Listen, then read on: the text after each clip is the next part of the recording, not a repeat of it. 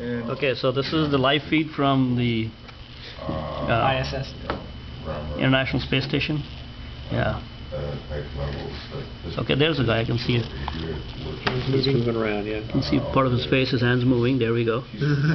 Now, is that tear in the video, or is that tear? I think that's tear in the stream. I was seeing this various behavior kind of like this. We can try other streams too, but on my just uh, streaming it. Wow, that's unreal.